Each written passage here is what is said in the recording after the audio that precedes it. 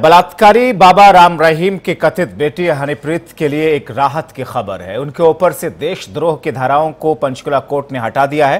हनीप्रीत सहित सभी आरोपियों से, यानी कि जो आरोप थे, हनीप्रीत सहित सभी आरोपियों से देशद्रोह की धारा 121 और 121 ए को हटा, एक, ए को हटा दिया गया।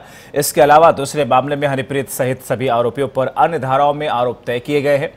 दरअसल सीबीआई की विशेष कोर्ट में 25 अगस्त 2017 को पंचकुला में दंगों के मामले में सुनवाई हुई थी।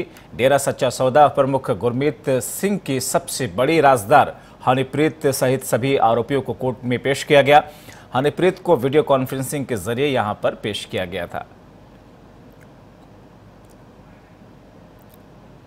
ईमान है, चमकोर सिंह है, दान सिंह है गोविंद राम है मेन काफ़ी है जी अपने उसके बाद दिलावर सिंह है, प्रदीप गोयल है, खैती लाल है, राकेश लाल है, हनीप्रीत है, सुखदीप कौर है, गुरमीत सिंह है, शरणजीत कौर है, और छिंदर लाल अरोड़ा है, गोपाल कृष्ण अन्य काफ़ी वो है, सारे टोटल मिला के चालीस तो है ही है जी।